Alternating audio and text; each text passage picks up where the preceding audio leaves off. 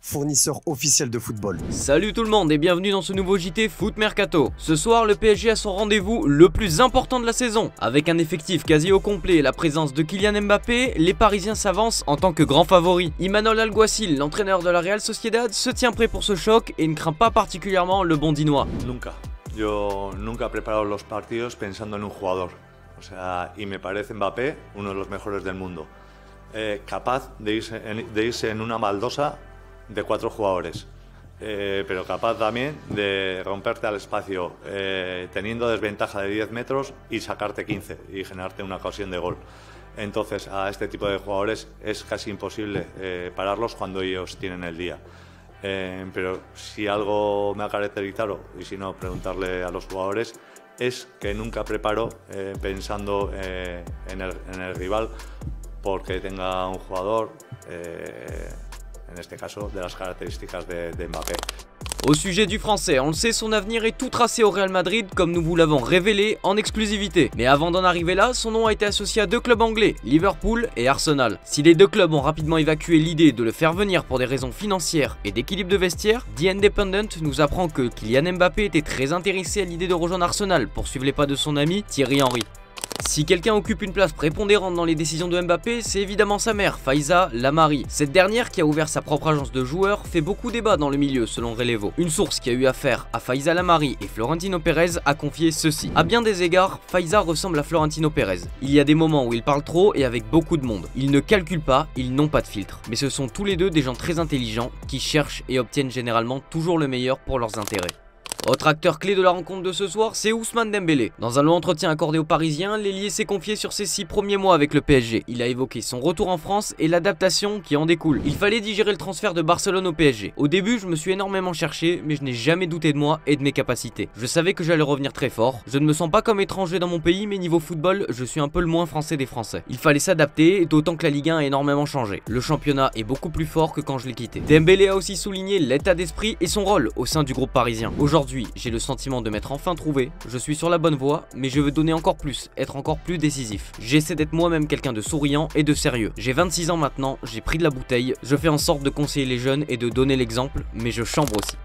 Malade et donc absent du groupe parisien pour le choc de ce soir, Kangin Lee est dans une sacrée affaire. Les médias anglais The Sun et le Daily Mail, puis la fédération sud-coréenne de football elle-même ont admis qu'une grosse altercation entre plusieurs joueurs majeurs de la sélection a eu lieu la veille de la demi-finale de Coupe d'Asie, perdue face à la Jordanie 2-0. Plusieurs responsables de la fédération ont ainsi raconté les dessous du clash qui a abouti à une blessure au doigt de Son. Pendant le tournoi, il y a eu un conflit entre Lee Kangin et des membres seniors tels que Heung Min Son, King Min Jae et Wang Yi-chan. Raconte ainsi un dirigeant relayé par le média sud-coréen Chosun. Tout aurait démarré par une réflexion de Son à Kangin Lee, coupable d'avoir quitté la table pour aller jouer au ping-pong. La réponse injurieuse d'après les dires de Lee n'a pas plu. Son s'est mis en colère et a attrapé Kangin Lee par le col et une bagarre a éclaté poursuit un dirigeant. Des insultes ont fusé et Kangin aurait même tenté d'adresser un coup de poing à son partenaire. Esquive de Son qui s'est malgré tout luxé un doigt en tentant de se dégager d'un autre joueur qui le retenait. Plusieurs joueurs de l'effectif sont partis demander au sélectionneur Jürgen Klinsmann d'exclure le parisien, ce qu'il n'a pas fait. Lee s'est d'ailleurs excusé de cet épisode. Il a été rapporté que j'avais eu une altercation avec Son avant la demi-finale de la Coupe d'Asie.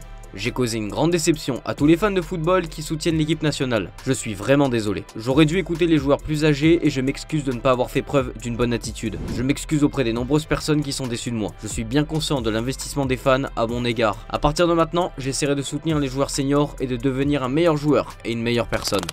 À quelques heures du coup d'envoi, voici à quoi devrait ressembler le 11 du PSG. Disposé en 4-3-3, Gio Donnarumma sera aligné dans les buts, accompagné par une ligne de 4 avec Hakimi à droite, Marquinhos et Danilo dans l'axe, puis Lucas Hernandez à gauche. Au milieu de terrain, on retrouve la pépite Warren Zaire-Emery aux côtés de Fabian Ruiz et Vitinha au milieu. Enfin, devant, Bradley Barcola occupera le couloir gauche, à l'opposé on retrouve Ousmane Dembélé puis Kylian Mbappé à la pointe de l'attaque. Même recette pour la Real Sociedad qui évolue en 4-3-3. Remiro protégera les buts basques, Traoré, le Normand Zubeldia et Galan composent la défense. Au milieu de terrain, Zubimendi sera accompagné de Merino et Mendez. Et devant, Kubo sera présent dans le couloir droit, Sadik au poste de buteur et Barentexea sur l'aile gauche. Tout ça m'amène à vous poser la question du jour les amis, pour vous est-ce que le PSG va réussir à se qualifier contre la Real Sociedad? J'attends vos réponses en commentaire et sur le site. Ce soir, en plus de l'affiche PSG Real Sociedad, les téléspectateurs auront droit à un Lazio Bayern Munich. Les Bavarois s'avancent dans cette rencontre dans un contexte de crise. Rien ne va plus en Thomas Tuchel et certains joueurs. En plus de Mathis Delire, Joshua Kimmich et Leon Goretzka n'ont pas de très bonnes relations avec leur coach et sont prêts à partir, selon Bild. En manque de résultats et sous le feu des critiques des supporters, l'entourage de Tuchel aurait proposé ses services au FC Barcelone, qui apprécie son profil, selon Mundo Deportivo. La direction du Bayern a conscience de cette éventualité de départ de son coach et cherche son potentiel successeur. D'après Sport Un retour d'Hans-Dieter Flick est sur les tablettes. Le principal intéressé serait même déjà en contact régulier avec le président du Bayern. On en sait un petit peu plus sur le futur de Zinedine Zidane. De nombreuses rumeurs ont entouré l'ancienne légende des Bleus depuis son départ du Real Madrid en 2021. Au micro de Bein Sport, il a réaffirmé son envie de retrouver un banc. C'est toujours mon objectif de redevenir entraîneur. Là, je prends plus de temps pour faire autre chose, c'est tout. Mais l'objectif, c'est de revenir. Toujours au courant de l'actualité, difficile pour Zidane de passer à côté du phénomène Jude Bellingham. Interrogé par As, le français est sous le charme de l'anglais. C'est un joueur incroyable, c'est un joueur qui est en train de faire des choses incroyables. On pouvait s'imaginer ce qu'il était en train de faire, mais là je crois qu'il a dépassé un petit peu toutes les, les stats et puisqu'il est en train de faire. Surtout euh, à son âge, parce qu'il parce qu'il ne faut pas oublier que c'est un garçon qui a 20 ans. il est arrivé avec beaucoup d'envie, beaucoup, beaucoup de, beaucoup, d'objectifs et c'est ce qu'il est en train de faire. Il est en train de mettre la barre très haute et euh, il est en train de tout simplement euh, montrer à tout le monde ce qu'il est. Euh, et, c'est beau de le voir comme ça. En tous les cas, très fan, très fan de lui, on lui a dit, et on, est très... Et ce qu'on a envie, c'est qu'il gagne maintenant des, trophées avec, avec le Real Madrid et qu'il puisse soulever des trophées. C'est tout le mal que je lui souhaite. Ça bouge aussi pour un autre entraîneur, Fabio Grosso. Limogé de son poste à l'OL en novembre dernier, le nom de l'Italien circulerait du côté de Sassuolo, selon les informations de la Gazzetta dello Sport, confirmées par nos soins. Selon nos indiscrétions, la position de l'entraîneur actuel, d'Alessio Dionizzi, est rediscutée en interne. La direction des Nero Verdi penserait donc à Fabio Grosso. Mais selon nos informations, Grosso souhaiterait attendre la fin de la saison avant de se lancer dans un nouveau défi.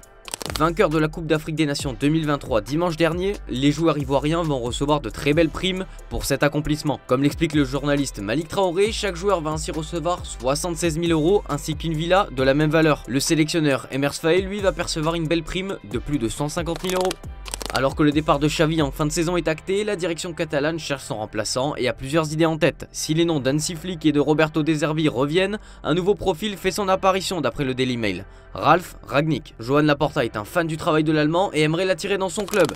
En panne de résultats depuis plusieurs années, les dirigeants de la Fédération algérienne de football s'activent pour trouver un remplaçant à Jamel Belmadi. Selon plusieurs sources algériennes, le nom de Carlos Queiroz revient avec insistance. Rien encore d'officiel, affaire à suivre. On passe aux officiels du jour avec Molenbeek. Après l'éviction de Claudio Cassapa, c'est Bruno Irles qui devient le nouvel entraîneur du club appartenant à John Textor. Comme annoncé depuis plusieurs mois, Sir Jim Radcliffe et Ineos annonçaient le rachat de 25% des parts de Manchester United pour un montant de 1,4 milliard d'euros. Un rachat enfin officialisé dans un communiqué publié par la Première Ligue.